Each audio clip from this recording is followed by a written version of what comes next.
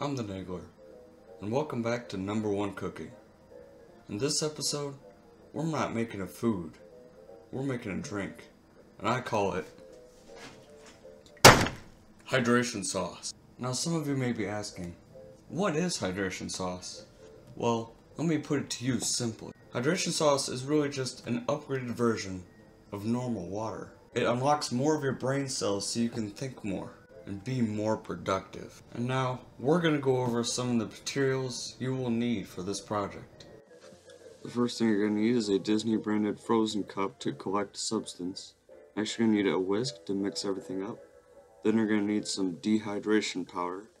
You're going to need a bowl to help you mix everything together. And the last thing is a straw that will help you see the future. Now you may be thinking, Nagler, why dehydration powder? This will make more sense later in the video. But for now, we need to collect the materials we need to make this happen. And the first thing you're going to want to grab is the snow. Now, let me warn you, this is going to be a rough journey. So you're going to want to be prepared.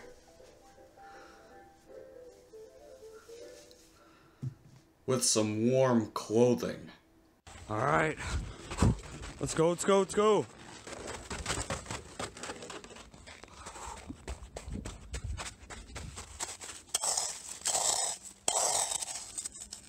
Come on, just grab it.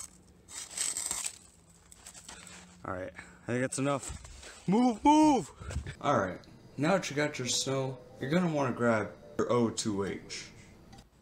O2H is very common for cooking, so that means it's very easy to find. Now, there are several different places you can find this substance.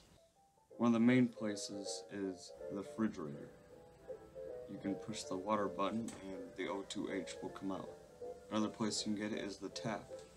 Alright, now that you got your cup of 2OH, you have your snow, you have your dehydration powder, now you can start mixing things up. The First thing you're going to want to do is you want to make sure you have a clean workspace. But in this case, I had an aloe plant in my way. Next, you're going to want to grab your bowl of snow, and you're going to want to grab your straw.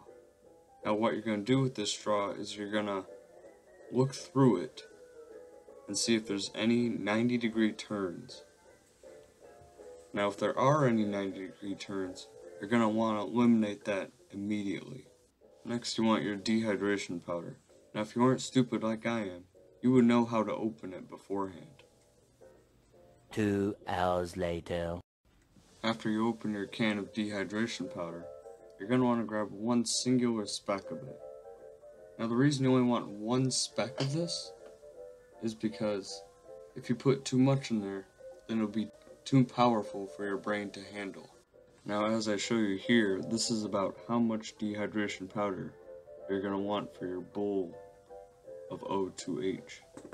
Now you're actually going to want to put it directly in the center, because if it's not in the directly center of the bowl, then it's not going to work properly. Now you're going to want to grab your next two items. One of them is going to be the whisk, and the other is going to be the cup of O2H. Now you're going to want to mix this up similar to how you'd mix up pancakes. You would pour a little bit of O2H in there, then you mix it around, then pour a little more in.